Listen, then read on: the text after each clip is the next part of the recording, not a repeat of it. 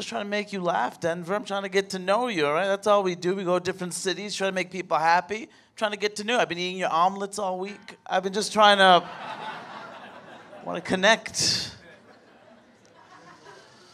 We got about 250 people in here, which is exciting. I told my dad. My dad always asks me, like, you know, how's the show going? I'm like, I got 250 people at this first show, and my dad's like, oh, that's it. That's it. That's 250 people. And I remember that my parents are from India. 250, not a big number. That's not a big deal for them. Yeah.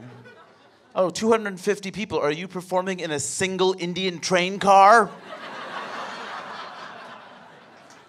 Dad, I'm performing at Madison Square Garden. Ah, Madison Square Garden. Are you performing at our family reunion? My comedy isn't for everybody. I've realized that. I'm fine with it. This is just who I am, right? I was doing a show in New York. I was bombing in front of 20 people, which is horrific.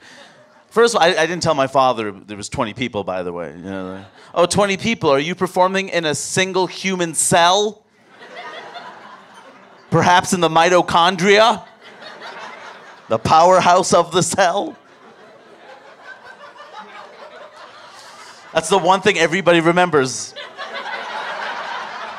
My, Mitochondria is the powerhouse of the cell. What does that mean? No fucking idea. No idea what that means. But it's, uh, it's a powerhouse, though. We know that. It's a real fucking powerhouse.